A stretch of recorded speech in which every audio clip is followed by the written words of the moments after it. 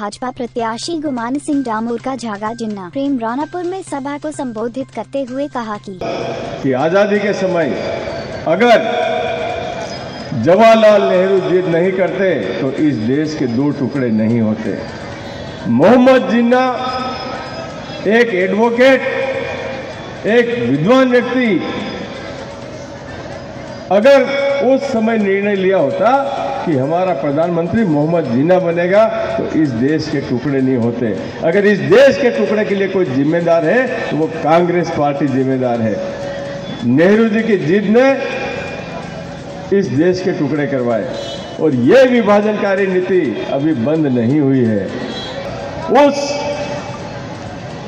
नारे लगाने वाले समूह के पीठ पर अगर किसी का हाथ है तो राष्ट्र कांग्रेस के राष्ट्रीय अध्यक्ष राहुल गांधी का हाथ है। राहुल गांधी इस देश में ऐसे लोगों का समर्थन करते हैं।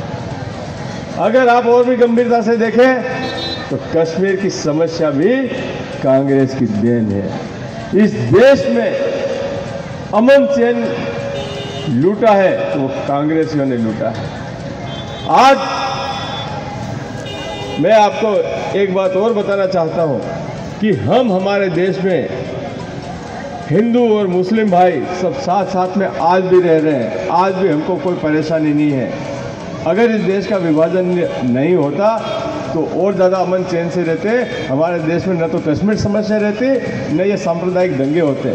पर ये सब कुछ कांग्रेस की सोची समझी रणनीति के तहत हुआ।